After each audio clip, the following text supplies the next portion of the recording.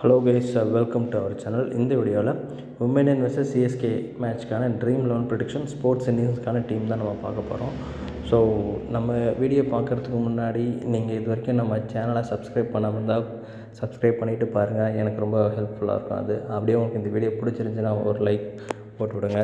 உங்கள் ஃப்ரெண்ட்ஸ்க்கு ஷேர் பண்ணுங்கள் நமக்கு தெரியும் ட்ரீம் லெவன் வந்து தமிழ்நாட்டில் ஒர்க் ஆகிறதில்ல. ஸோ தமிழ்நாட்டில் இப்போதைக்கு நல்லா ஒர்க் ஆகிட்டு இருக்க ஃபேண்டசி ஆப்ஷன் பார்க்குறப்ப வந்து பார்த்திங்க அப்படின்னா இந்த ஸ்போர்ட்ஸ் இன்னிங்ஸ்ன்ற ஆப்பு இந்த ஸ்போர்ட்ஸ் இன்னிங்ஸ் ஆப்பை வந்து பார்த்திங்க அப்படின்னா இது எப்படின்னா உங்களுக்கு லாஸ் ஆணுச்சு அப்படின்னா ரொம்ப ரொம்ப கம்மியாக இருக்கும். ஏன்னா அந்த மாதிரி கண்டெஸ்ட் எல்லாமே இதில் இருக்குது அந்த வீடியோ வந்து நான் செப்பரேட்டாக போட்டிருக்கேன். அந்த வீடியோ வந்து டிஸ்கிரிப்ஷனில் இருக்கும். என்னோடய வித்ரால் ப்ரூஃபும் நான் டிஸ்கிரிப்ஷனில் கொடுத்துருக்கேன். நீங்கள் பாருங்கள் பார்த்துட்டு அதுக்கப்புறமேட்டு உங்களுக்கு பிடிச்சிருந்துச்சுன்னா இந்த ஆப்பை நீங்கள் டவுன்லோட் பண்ணி ப்ளே பண்ணி பாருங்கள் அதே மாதிரி இந்த ஆப் நீங்கள் உங்கள் ஃப்ரெண்ட்ஸ்க்கு ஷேர் பண்ணுறது மூலமாக உங்களுக்கு மணி வரும். காசு கிடைக்கும். அந்த காசு நீங்கள் வந்து வித்ட்ரால் பண்ணிக்கலாம். உங்கள் அக்கௌண்ட்டை நீங்கள் டேரெக்டாக வித்ட்ரால் பண்ணிக்கலாம். ஸோ வேறு ஒன்றும் இல்லை. சப்ஸ்கிரைப் பண்ணாமல் தான் சப்ஸ்கிரைப் பண்ணிவிட்டு பாருங்கள் வாங்க மேட்ச் டீட்டெயிலுக்குள்ளே போகலாம் மேட்ச் வந்து பார்த்திங்கன்னா ஃபஸ்ட்டு மே இன்றைக்கி நடக்குது. ச செவன் தேர்ட்டி பிஎம்க்கு மேட்ச் ஸ்டார்ட் ஆகும். வென்யூ வந்து பார்த்திங்கன்னா அருண் ஜேட்லி ஸ்டேடியம் ஃபெரோஷா கோல்டான்னு சொல்லிட்டு இந்த ஸ்டேடியம் இருந்துச்சு. இந்தியாவோட செகண்ட் ஓல்டஸ்ட் ஸ்டேடியம் இது கொல்கட்டா கப்பில் வந்து பார்த்தீங்கன்னா செகண்ட் ஓல்டஸ்ட்டு ஸ்டேடியம் இது. ஸோ அந்த ஸ்டேடியம் வந்து மேட்ச் நடக்குது. இது வரைக்கும் வந்து பார்த்தீங்கன்னா சிஎஸ்கே வர்சஸ் மும்பை இந்தியன்ஸ் வந்து பார்த்திங்க அப்படின்னா முப்பத்தி ரெண்டு மேட்சஸ் வந்து ப்ளே பண்ணியிருக்காங்க. அதில் வந்து மும்பை இந்தியன்ஸ் ரொம்ப ஸ்ட்ராங்காகவே இருந்திருக்காங்க. பத்தொம்போது மேட்ச் வந்து வின் பண்ணியிருக்காங்க. சிஎஸ்கே வந்து பார்த்திங்கன்னா பதிமூணு மேட்ச் தான் வின் வின் பண்ணியிருக்காங்க. ஸோ சிஎஸ்கே மும்பை இந்தியன்ஸ் பார்க்குறவங்க வந்து பார்த்திங்கன்னா ரெண்டு பேர்த்துக்குமே வந்து பார்த்திங்கன்னா ஃபேன் பேஸ் வந்து ரொம்ப அதிகம்.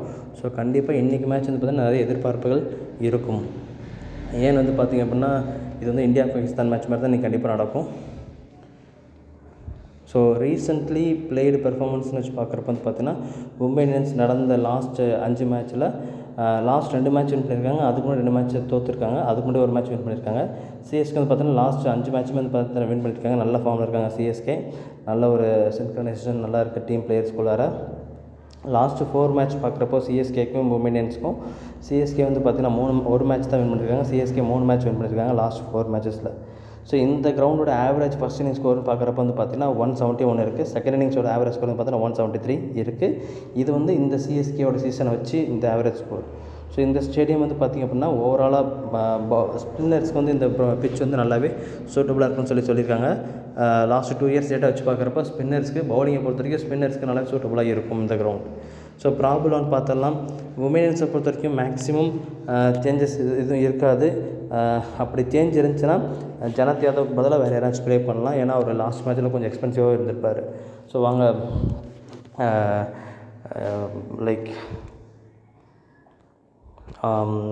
ப்ராப்ளம்னு பார்த்தலாம் Rohit Sharma Quinton de Kock Suryakumar Yadav Krunal Pandya Karan புலாட் Hardik Pandya Jayant Yadav Coulter Nile ராகுல் ஜஹார் ட்ரென் போல்ட்டு ஜாஸ்பிர் பூம்ரா. இதை வந்து பார்த்திங்க அப்படின்னா இன்றைக்கி நடக்க போகிற மேட்ச்க்கான ப்ராபபிள் லெவனாக இருக்கும்.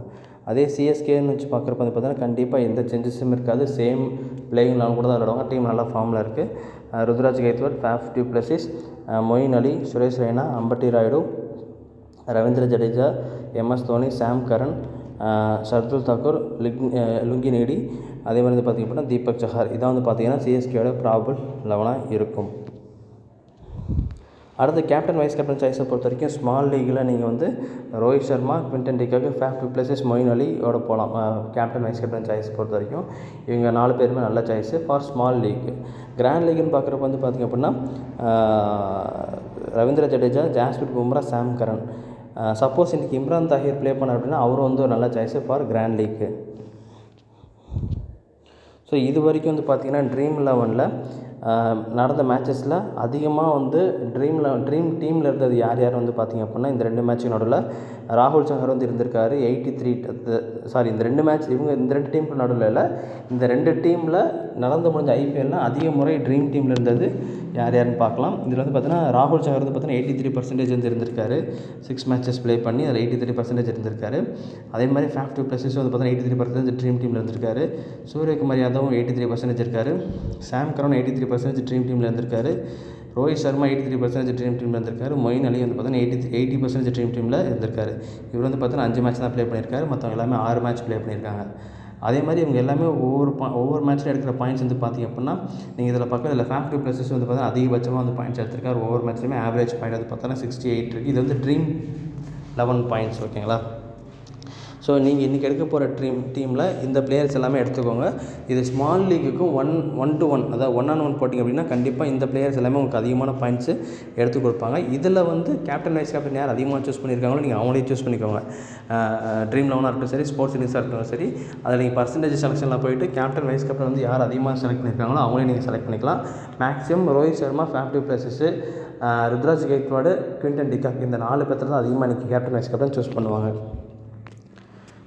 அதே மாதிரி ஆவரேஜ் பாயிண்ட்ஸ்னு பார்க்குறப்போ இது வரைக்கும் நடந்த முடிஞ்ச ஐபிஎல் தட் இஸ் இந்த சீசனை பொறுத்த வரைக்கும் இது வரைக்கும் நடந்து முடிஞ்ச மேட்சஸில் ஆவரேஜாக அதிகபட்சமாக ஒவ்வொரு மேட்ச்லையும் ட்ரீம் லெவன் பாயிண்ட்ஸ் யார் எடுத்திருக்காங்கன்னு வந்து பார்த்திங்க அப்படின்னா ஜடேஜா வந்து பார்த்தீங்கன்னா செவன்ட்டி ஃபைவ் பாயிண்ட்ஸ் ஆவரேஜ் எடுக்கிறாரு. மொயின் அலி பார்த்தீங்கன்னா செவன்ட்டி ஒன் பாயிண்ட்ஸ் எடுத்திருக்காரு.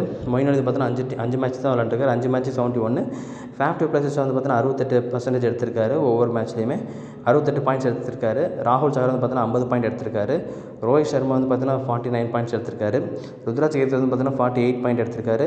சூரியகுமார் யாதவ் பார்த்தீங்கன்னா ஃபார்ட்டி எயிட் பாயிண்ட்டு ராகுல் சகர் பார்த்தீங்கன்னா ஃபார்ட்டி சிக்ஸ் பாயிண்ட் வந்து எடுத்திருக்காரு. ஸோ இதான் வந்து பார்த்தீங்கன்னா average dream eleven points secured by each player so இதை வச்சு நீங்கள் வந்து டீம் போடுங்க. ஸோ நான் வந்து இப்போ ரெண்டு ஸ்மால் லீக் போட்டிருக்கேன். அந்த ரெண்டு ஸ்மால் லீக் டீம் உங்களுக்கு காமிக்கிறேன். ஸோ ஸ்போர்ட்ஸ் இன்னிங்ஸ் ஆப் தான் நான் ப்ளே பண்ணிகிட்ருக்கேன் இந்த ஆப்பை பொறுத்த வரைக்கும் நான் எடுத்திருக்க டீம் அதாவது நம்ம ஃபஸ்ட்டு சொன்ன மாதிரி ட்ரீம் டீமை வச்சு ட்ரீம் டீம் பர்சன்டேஜ் வச்சு நான் போட்டிருக்க டீம் இந்த டீமு ஸோ இதில் வந்து பார்த்திங்கன்னா பவுலிங்கை பொறுத்த வரைக்கும் நான் வந்து மோஸ்ட்லி சிஎஸ்கே பிளேயர்ஸ் தான் கான்சன்ட்ரேட் பண்ணியிருக்கேன். ஏன்னா அவங்க ஃபார்ம் வந்து நல்லா இருக்குது ஸோ அதனால் வந்து சிஎஸ்கே பிளேயர்ஸ் தான் நான் எடுத்திருக்கேன் நான் இங்கே அதே மாதிரி ஆல்ரவுண்டர்லேயும் வந்து பார்த்தீங்கன்னா மூணு ஆல்ரவுண்டருமே சிஎஸ்கே சைட்லேருந்து எடுத்திருக்கேன் நான். ஹார்திக் பாண்டியா அதாவது இஸ் குணல் பாண்டியாவில் ஹா கரண் ப்ராடர் வந்து நான் இங்கே வந்து எடு எடுத்துட்டேன். அவங்கள வந்து நான் விட்டுட்டேன் நான். ஸோ இதில் வந்து நீங்கள் சப்போஸ் இந்த டீம் உங்களுக்கு செட் ஆச்சு அப்படின்னா இந்த டீம் நீங்கள் போட்டுக்கலாம். இதில் நீங்கள் சேஞ்ச் பண்ணணும்னு நினச்சி அப்படின்னா இந்த ட்ரெண்ட் போல்ட்டுக்கு பதிலாக இங்கே வந்து அப்படி இல்லை அப்படின்னா சாம் கரனை ரிமூவ் பண்ணிவிட்டு இங்கே வந்து நீங்கள் வந்து இம்ரான் தாஹீரை போடுறது நல்லது. சப்போஸ் இன்றைக்கி ப்ளே பண்ணார் அப்படின்னா. நல்ல சாய்ஸாக இருக்கும். அதே மாதிரி இன்னொரு ஸ்மால் லீக் டீம் காமிக்கிறேன் நான். இது வந்து பார்த்தீங்கன்னா ஸ்மால் லீக் டீமு ஸோ முன்னாடி சொன்ன மாதிரி நான் வந்து இங்கே வந்து நான் சாம் கண்ணை ரிமூவ் பண்ணிவிட்டு கவுண்டர் நெயில் இங்கே போட்டுக்கிறேன் ஸோ இந்த கவுண்டர் நெயில் ஆட் பண்ணிவிட்டு நீங்கள் வந்து டென் போல்ட் ரிமூவ் பண்ணிவிட்டு இங்கே இம்ரான் தாஹிர் நீங்கள் ஆட் பண்ணுறாலும் ஆட் பண்ணிக்கலாம். ஸோ தட் வந்து ரெண்டு சிஎஸ்கே ரெண்டு மும்பை பிளேயர்ஸ் இருப்பாங்க. ஸோ டீம் வந்து உங்களுக்கு பேலன்ஸ்டாக இருக்கும். ஸோ இதுதான் கைஸ் என்னோடய small league team grand league team எப்போவுமே வந்து நம்ம இப்போ கொடுக்க முடியாது. கிராண்ட் லீக் டீம் பொறுத்த வரைக்கும் நம்ம வந்து டாஸ் போட்டு பேட்டிங் யார் யார் இறங்குறாங்க அதை பேஸ் பண்ணி தான் நம்ம வந்து கிராண்ட் லீக் டீம் செட் பண்ண முடியும். ஸோ கிராண்ட் லீக் டீம் வந்து நம்மளோட டெலிகிராம் சேனலில் வந்து அப்லோட் பண்ணுறேன் நான். உங்களுக்கு வேறு எதாவது டவுட்ஸ் இருக்குது வேறு எதனாச்சும் டேட்டாஸ் வேணும் அப்படின்னா நீங்கள் தாராளமாக கமெண்ட்ஸில் கேளுங்கள் எனக்கு நான் தெரிஞ்ச வரைக்கும் நான் கமெண்ட்ஸ்லேயே நான் சொல்கிறேன் நான். Thank you friends